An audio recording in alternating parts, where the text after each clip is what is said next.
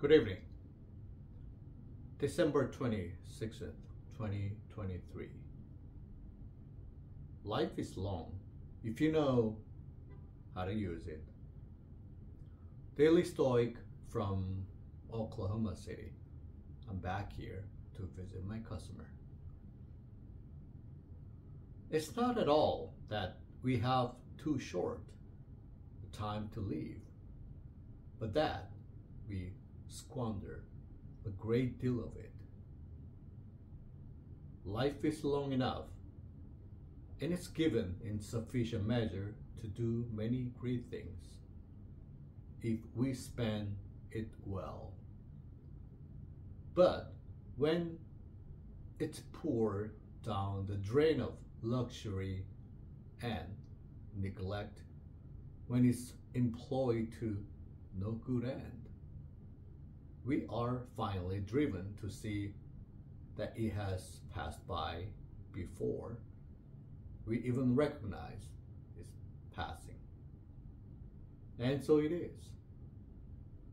We don't receive a short life. We make it so. Seneca, the brevity of life, 1.3-4a. No one knows how long they have to live.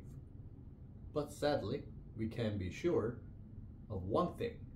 We will waste far too much of life.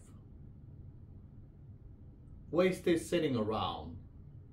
Wasted chasing the wrong things.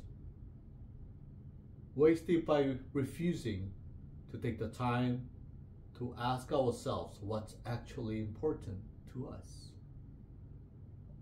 far too often we're like overconfident academics that Petrarch criticized in his classic essay on ignorance, the types who fritter away their powers incessantly in caring for things outside of them and seek themselves there. Yet, they have no idea that is what they are doing.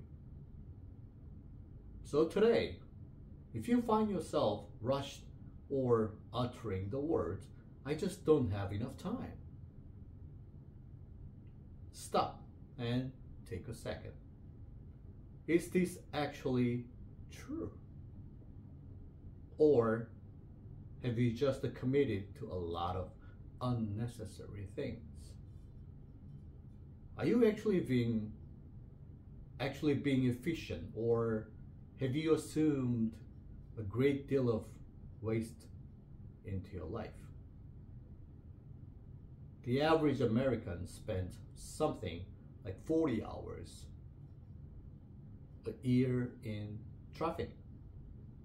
That's a month over the course of life. And for traffic, you can substitute so many activities from fighting with others to watching television to daydreaming. Your life is plenty long. Just use it properly. Thank you. See you tomorrow.